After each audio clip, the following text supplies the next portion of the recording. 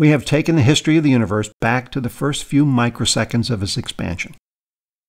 At each stage, with baryogenesis through nucleosynthesis to recombination and decoupling, we had the universe in thermal equilibrium. At this point, there are two notable issues with the flat lambda cold dark matter theory. One is that nothing we have covered so far gives us the anisotropy we see in the CMB radiation. And two, the universe appears to have been too large to be in thermal equilibrium during recombination. This one is called the horizon problem, and it's a showstopper. You'll recall that the horizon distance is the furthest distance that light could have traveled in the time available. Assuming a matter and radiation dominated universe appropriate for the time, we get a horizon distance that is 2% of the distance across the region. In other words, there is no way for the vast majority of the particles in recombination to be in causal contact as required for thermal equilibrium. To solve this problem, a theory of cosmic inflation was suggested by cosmologist Alan Guth in 1982. We know from quantum field theory that the universe is permeated with any number of matter and force fields. Like Higgs proposed a new field to explain W and Z boson behavior, Guth proposed that the universe contains a scalar energy field with a very large vacuum energy, much larger than today's cosmological constant. The field is called the inflation field, and its force particle is called an inflaton. If we assume that this large potential energy isn't changing appreciably, the large Hubble parameter would be constant, and as we have seen before, the universe would expand exponentially. Here's a graph that relates the potential energy density of space against the changes in the energy of the field.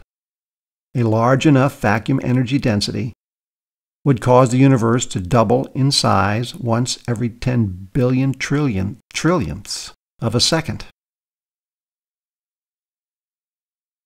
At the end of the plateau, there is a sharp fall in the potential energy. We don't know what triggered the start of inflation, and we don't know what triggered this end. But during this split second fall, the inflation theory has it that all the potential energy and all the inflatons were converted into all the heat, matter, and energy in the universe. This is the fiery Big Bang we had entering the baryogenesis epoch.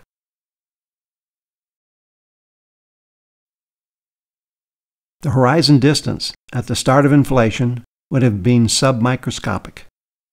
The horizon distance at the end of inflation, a tiny fraction of a second later, would have been the size of a whale and the horizon distance at the time of last scattering would have been 652 million light years, 800 times larger than without inflation.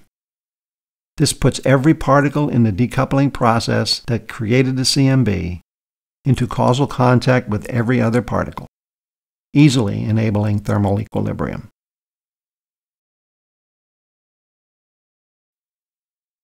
The zero point energy quantum fluctuations are short, small, and create localized deviations in energy density. Under normal circumstances, the restorative force returns the deviation to normal almost instantly.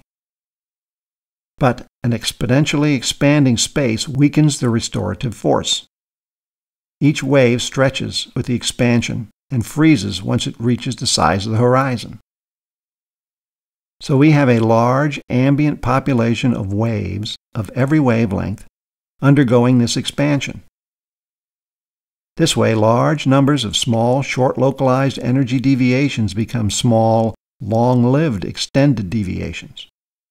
In fact, these quantum fluctuations persist long after the inflation ends. We can tweak the variables to produce an energy density deviation on the order of 10 to the minus 5 the amount of the temperature deviation we found in the CMB. These tiny quantum fluctuations are the origin of the anisotropy in the CMB that eventually led to the large galaxy superclusters and great voids we see around the universe today. The ability to solve Big Bang problems like the horizon, CMB anisotropy, and others have given the theory of inflation a great deal of credibility among cosmologists.